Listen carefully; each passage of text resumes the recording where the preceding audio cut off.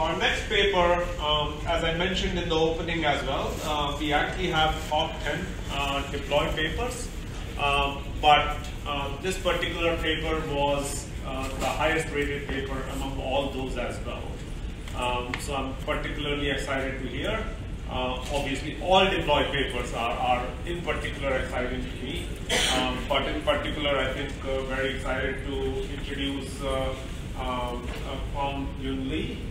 Um, and the, the topic of the paper is, as I mentioned in the opening also, uh, embedding CNN-based defect finder for deployed vision inspector uh, in manufacturing company Frontec. So by definition, it is a deployed paper, and um, let's welcome uh, Lee to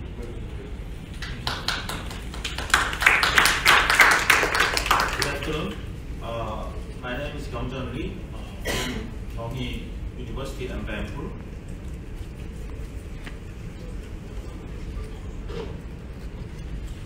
Uh, It is uh, my great honor to receive the IAAI award.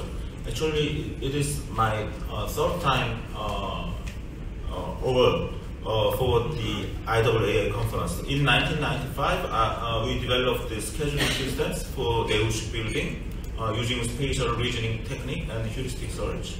And in 1997, uh, we developed a project planning system for Hyundai construction uh, based on the case-based reasoning and constraint-based reasoning. Today, uh, I talk about the quality management system for small and medium enterprise manufacturer, Frontec, uh, embedding convolutional neural network into existing vision inspector without hardware change. This is the view